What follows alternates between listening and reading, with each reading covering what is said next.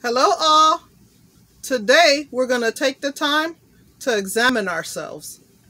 In 2 Corinthians chapter 13 verse 5, it reads, "Examine yourselves to see whether you are in the faith. Test yourselves.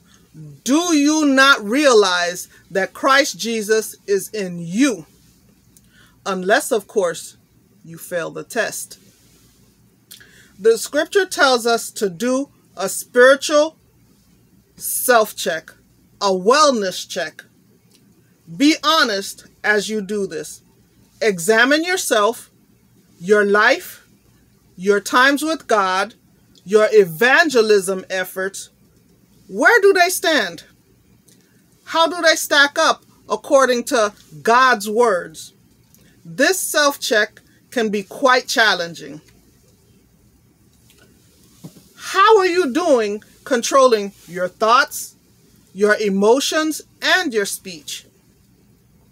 Only by doing a spiritual exam can we have a godly perspective of what we need to keep and what we need to change, what we need to work on, and what we need to eliminate.